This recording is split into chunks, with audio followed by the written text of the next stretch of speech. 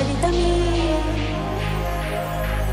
பொன்மணி உன் வீட்டில் சௌக்கியமா நான் இங்கு சௌக்கியமே. உன்னை எண்ணி பார்க்கையில் கவிதை கொட்டுது. அதை எழுத நினைக்கையில் பார்த்தை முட்டுது.